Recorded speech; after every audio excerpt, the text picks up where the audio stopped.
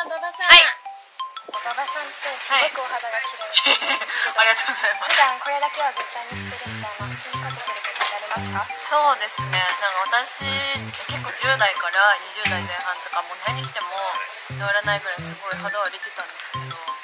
でもやっぱりこう保湿ちゃんと化粧水することとあと日焼け止めをちゃんと塗ること。これは大事にしてますなるほど。ありがとうございます、はい、サインの堀川理子でした。馬場さんありがとうございました。